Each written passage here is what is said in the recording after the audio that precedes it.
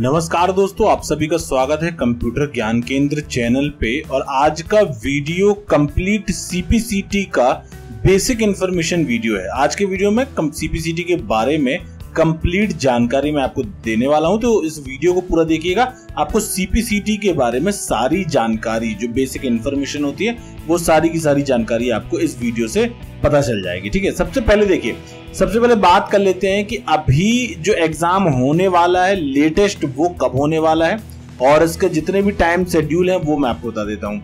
अभी यहाँ पर जानकारी दी गई नोटिस आप देख पा रहे हैं नोटिस में लिखा हुआ है कि आज है 21 जून जब भी मैं वीडियो रिकॉर्ड कर रहा हूँ और इस 21 जून आज है और इस इस महीने का जो लास्ट डेट है फॉर्म भरने का वो है 24 जून। 24 जून तक आप इसके लिए आवेदन कर सकते हैं ठीक है? अब जब आप 24 जून को आवेदन करेंगे या 24 जून के पहले आवेदन कर लेंगे तो उसका एग्ज़ाम कब होगा?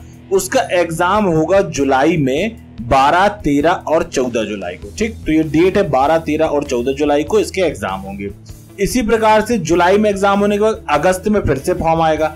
सितंबर में इसके 6 सितंबर 8 सितंबर के एग्ज़ाम होंगे। सितंबर के बाद अक्टूबर में फिर से इसका फॉर्म आएगा।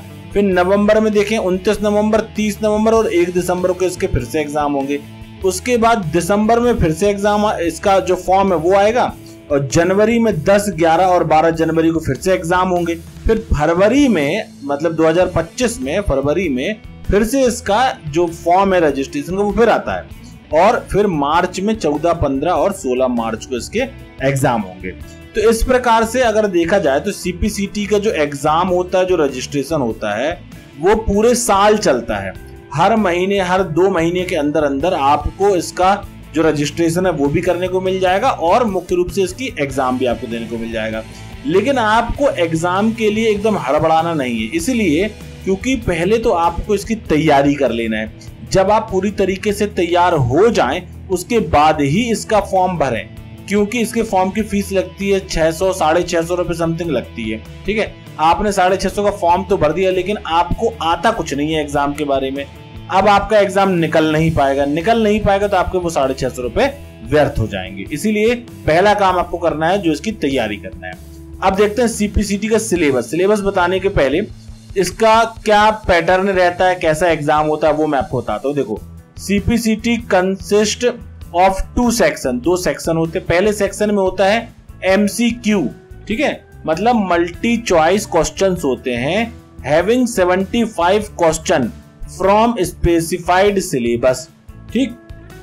आपके 75 प्रश्न होते हैं। दूसरा जो भाग होता है, वो होता है टाइपिंग स्किल असेसमेंट का जिसमें आपसे इंग्लिश टाइपिंग करवाई जाती है और हिंदी टाइपिंग करवाई जाती है ठीक है? तो दो भागों में आपको एग्ज़ाम देना है और दोनों भागों में पास होना आपका ज़रूरी है। मतलब अगर ऐसा नहीं कि आप, आपने एमसीयू अगर क्लियर हो गया आपका और टाइपिंग में आप रुक गए तो आपका स्कोर कार्ड आपको मिल जाएगा। नहीं दोनों आपने जब तक क्लियर नहीं करेंगे तब तक आपका स्कोर कार्ड जनरेट नहीं होगा ठीक? ऑल मल्टीपल चॉइस क्वेश्चन जो होता है सेल है four option with one correct option वो तो नॉर्मल सबको पता है कि भाई एमसीक्यू मतलब चार आंसर होते हैं, उनमें से एक का आपको चूज़ करना होता है। ऑल एमसीक्यू क्वेश्चन सेल भी अवेलेबल इंग्लिश और हिंदी दोनों में आपको मिल जाएगा। Reading comprehension shall comprise one passage with five MCQ question इसमें आपको रीडिंग कंप्रेशन भी आएगा। मतलब वो अपन पहले पढ़ते थे कि भाई बहुत एक वाक्य पूरा एक पैराग्राफ लिखा होता था, उसमें से आपको सवाल नीचे पूछ लिए जाते थे। तो पैराग्राफ को पढ़ के सवाल का उत्तर आपको देना है। इसके अलावा typing test content will be a passage with possible keystroke तो टाइपिंग टेस्ट भी होगा। अब यहाँ पर दिया गया ड्यूरेशन देखो। The test shall be of two hours दो घंटे का होगा, यानी 120 मिनट का।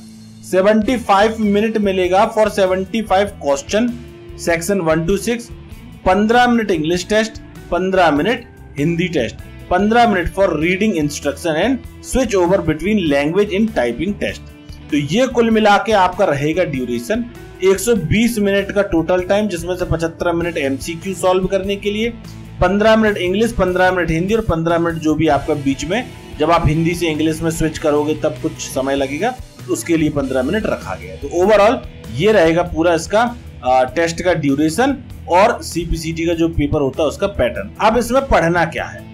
सिलेबस क्या है? तो सिलेबस में सबसे पहले आप ऊपर की तरफ़ आओगे तो सबसे पहली चीज़ तो भाई साहब कंप्यूटर से रिलेटेड ही है। सीपीसीटी क्योंकि कंप्यूटर से रिलेटेड है तो इसमें सीपीसीटी में सबसे पहला सिलेबस यही आता है। Awareness about different aspects regarding computer hardware such at generation and types of computer printers input output device hardware component such as central processing unit ठीक है?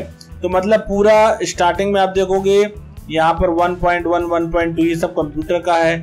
2.0 में भी देखोगे तो बेसिक कंप्यूटर ऑपरेशन से रिलेटेड आता है। ठीक है? तीसरे में आ जाओ, इसमें भी वर्ड से रिलेटेड है। देखो वर्ड है न्यूमेरिक स्केल है नंबर डिजिट है इंटरनेट से रिलेटेड आ जाता है। चौथे में आ जाता है रीडिंग कंप्रेशन रीडिंग कंप्रेशन में आपको अपनी थोड़ी सी इंग्लिश और हिंदी अच्छी रखनी है। इससे क्या होगा? भाई, वहीं पे पैराग्राफ आएगा, उसको पढ़ना, उससे रिलेटेड आंसर देना है। इसके बाद जो एक आता है मैथ्स एंड रीजनिंग एप्टीट्यूड तो इसमें ये भी पूछा जाएगा मैथ्स और रीजनिंग एप्टीट्यूड भी आपका रहेगा, जिसमें आपका ratio proportion time work distance ये वाला जो कंपटीशन एग्ज़ाम में पूछा जाता है, वो सब भी इसके अंदर रहेगा। इसके अलावा जनरल अवेयरनेस रहेगा। तो लास्ट का जो पांचवा पॉइंट है, ये मैथ्स और रीजनिंग वाला, और छठवा है जर्नल जनरल अवेयरनेस वाला।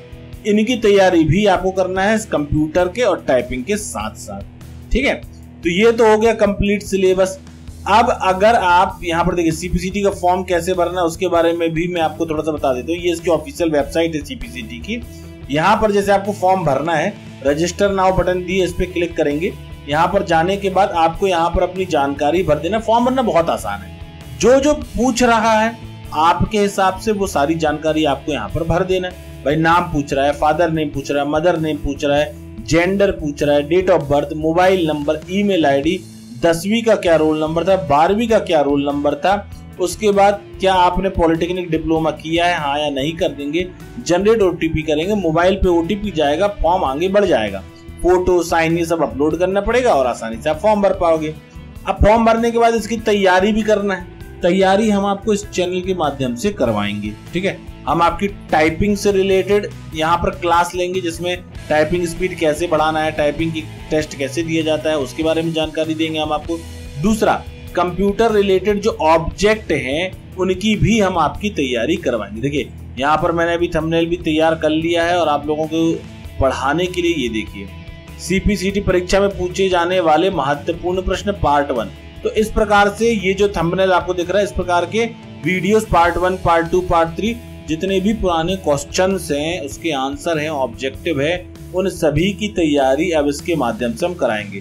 किस प्रकार का पेपर आता है? ये देखो, पुराना पेपर मैं आपको आपको दिखाता हूँ। यहाँ पर कुछ इस प्रकार का पेपर आ रहा है। सीपीसीटी का ये आपको पेपर दिखाई दे रहा है, जिसमें शुरुआत में देखो, इस प्रकार से क्वेश्चन और आंसर लिखे रहे हैं। कोई माइनस मार्किंग इसमें नहीं रहती है। निम्नलिखित में तो कौन से ग्राफिकल पैकेज है? अभी चार क्वेश्चन दिए, चार ऑप्शन दिए गए इसमें से सही जो आंसर है, वो आपको लगाना है। ठीक है? अब ये ऐसे ही यहाँ पर दिया गया है, यहाँ पर दे तो ये हिंदी में भी देगा, इंग्लिश में भी देगा। आपको दोनों में बता दें भाई हिंदी है या इंग्लिश है, जिसमें भी आप कर सको, वैसा आप कर लेना। आपको दोनों में पूछेगा वहाँ पर, ऐसा नहीं कि आप हिंदी वाले तो हिंदी बस में, इंग्लिश वाले तो इंग्लिश बस में। हिंदी इंग्लिश दोनों देता है।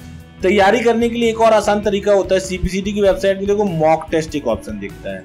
मॉक टेस्ट में जाके यहाँ पर आप साइन इन करके यहाँ से भी आप अपना मॉक टेस्ट दे सकते मॉक टेस्ट का मतलब एक प्रैक्टिस कि किस प्रकार का एग्ज़ाम होता है, कैसा आता है तो ये भी हम आपको आगे चल के करवाएँगे। भाई मॉक टेस्ट की तैयारी भी अपन करेंगे। और अगर आपने फॉर्म भर दिया है तो आप पेड ऑनलाइन मॉक टेस्ट वाला भी भाग ले सकते हो। देखो, छह सौ साठ रुपए इसकी फ़ीस है तो पेड ऑनलाइन मॉक टेस्ट भी आप ले सकते हो। तो सर, आपका काम भाई, सबसे पहले एक काम ये करना है आपको कि आपको तैयारी कर लेना है।